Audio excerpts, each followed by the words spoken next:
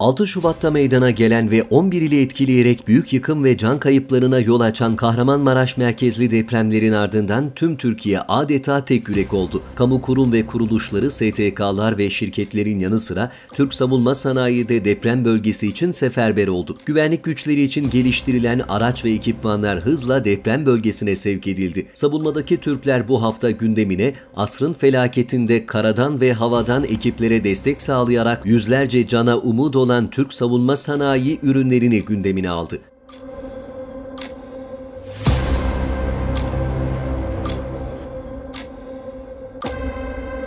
Depremin gerçekleştiği ilk günden itibaren Türk savunma şirketleri de ellerindeki tüm imkanlarla deprem bölgesindeki arama kurtarma çalışmalarına destek verdi. Bu kapsamda 78 yeraltı görüntüleme tespit ve analiz cihazı, duvar arkası radar, 343 çeşitli tip ve özelliklerde kamera sistemi, göçük altı görüntüleme cihazı, çubuk termal yaka ve güneş enerjili kameralar hızlı ve etkili şekilde arama kurtarma yapabilmesi için ekiplerin kullanımına verildi. Bu ekipmanların birçoğu ise ilk kez bir afette kullanıldı. Ülkenin sahip olduğu uydu görüntü alma ve işleme sistemleri de deprem sonrası harekete geçirildi. Alınan verilerle depremde hasar gören binalar ve konumları tespit edilerek arama kurtarma koordinasyon merkezlerine iletildi. Öte yandan Türk savunma sanayinin göz bebekleri olan insansız hava araçları da deprem bölgesi için seferber oldu. Bayraklar Akıncı TİHA'lar depremin ilk günü zorlu hava şartlarında tespit, arama kurtarma desteği ve koordinasyon faaliyetleri için aralıksız görev uçuşları gerçekleştirdi gerçekleştirdi. Depremin ilk günü yoğun hava muhalefeti, fırtına, kar yağışı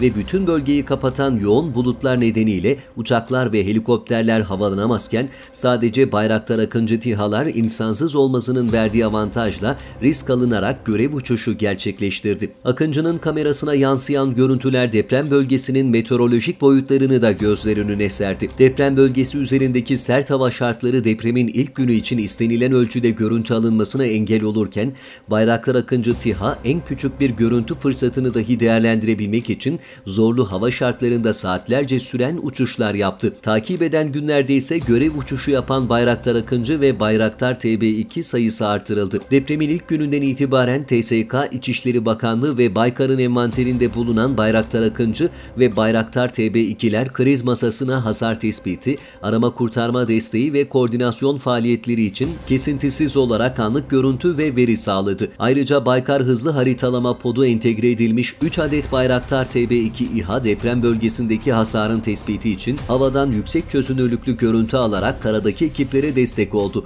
9 Bayraktar Akıncı, 7'si hızlı haritalama podlu 40 Bayraktar TB2 depremin hemen ardından bugüne kadar toplam 1798 saat 34 dakika görev uçuşu yaptı. Türkiye'nin çift motorlu ilk insansız hava aracı olan Aksungur'da ilk kez baz istasyonu faydalı yüküyle deprem bölgelerinde görev gerçekleştirdi. Bu sayede uçuş yapılan bölgelerde telefon iletişiminin mümkün kılınması sağlandı. Öte yandan BAHA gibi bulut altı insansız hava araçlarıyla dronlar da Cumhurbaşkanlığı Savunma Sanayi Başkanlığı tarafından bölgeye sevk edilen sistemler arasında yer aldı. Böylelikle depremin ilk gününden bu yana 50'den fazla insansız hava aracı bölgeye nakledilmiş oldu. Kapalı mekanlarda bulunan hedef unsurlara ait konum bilgilerini iki boyutlu olarak elde etmek için milli imkanlarla geliştirilen duvar arkası radarda ilk ilk kez bir afette kullanılmış oldu. Depremin en fazla etkilediği illerden Hatay'daki enkazda kullanılan darla enkaz altındaki onlarca kişinin yeri tespit edildi.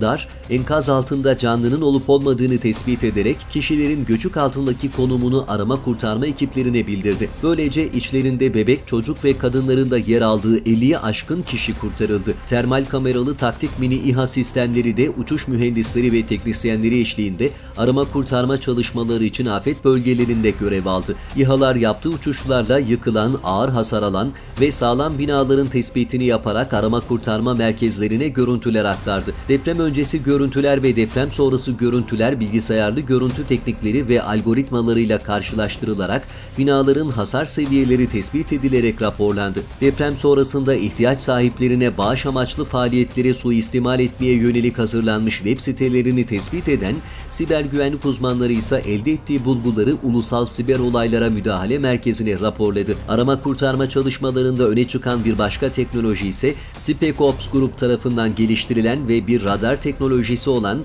Finder MK4, yaşam belirtilerini algılayabilen Finder MK4, kalp ritmi atışını tespit ederek enkaz altındaki depremzedelerin bulunmasını sağlıyor. İlk olarak 2015 yılında kullanılan cihaz, Meksika ve Nepal afetlerinde büyük görevleri üstlenmişti. Bu faaliyetlerin yanında savunma sanayi şirketleri tarafından çalışmalarda ihtiyaç duyulan çok sayıda araç ve malzeme de bölgeye sevk edildi. Projektörler başta olmak üzere arama kurtarma çalışmalarına yardımcı olacak kırıcı, delici, kesici gibi ekipman ve teçhizatlarla sahadaki çalışmalara destek veriliyor.